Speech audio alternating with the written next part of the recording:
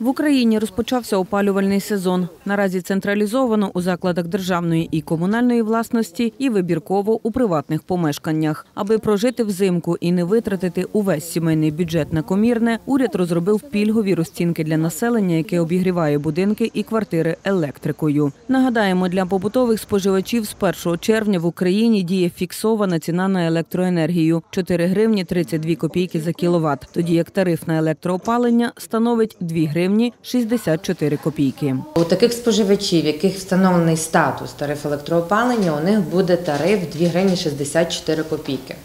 Але а, хотіла звернути увагу, що цей тариф буде в тих споживачів, які протягом місяця а, спожили до 2000 кВт годин в місяць. Тобто, якщо споживачі будуть споживати більше 2000 кВт годин в місяць, тобто, наприклад, 2500, 2500, то відповідно весь обсяг, всі 2500 будуть пораховані по тарифу 432. Щоб скористатися здешевленою ціною на електрику в опалювальний період 24-25 років, потрібно дотриматися затвердженого алгоритму і привести технічну документацію помешкання у відповідність до вимог урядової постанови. Має бути передбачено вид опалення. Є державні будівельні норми. Згідно тих державних будівельних норм передбачено ряд електричних установок, котлів, теплових насосів і там інших приладів, які можуть слугувати е, для електричного опалення.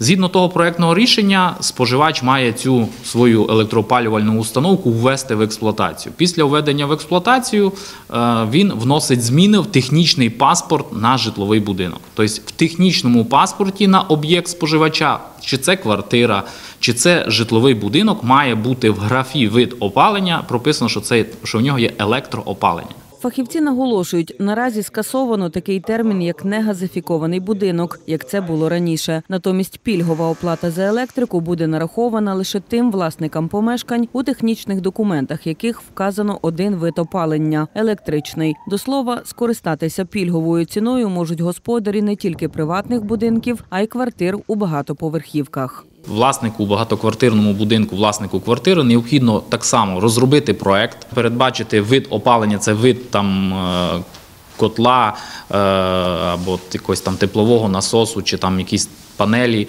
е, передбачити, внести зміни в технічний паспорт на квартиру, і після того по тому ж самому алгоритму передає документи нам, оформляє заяву, і ми вносимо, йдемо на обстеження і вносимо зміни в паспорт е, точки розподілу. Станом на сьогодні такі квартири є, і вони це роблять. Ще один спосіб заощадити електроенергію, а також власні кошти встановлення двозонного лічильника, який у різний період доби обчислює спожиту електроенергію за різними тарифами. До прикладу, якщо з 7 ранку до 11 вечора ціна складає 4,32, то вночі вартість знижена на половину. Так само удвічі менше доведеться платити й за умови використання тарифу на електроопалення, яким обігрівається будинок. Зрештою, у нічний час також можна вмикати пральну чи посудомийну машини, а також інші прилади, які споживають багато енергії. Проте абонентів наполегливо просять стежити за обсягами використаної електрики.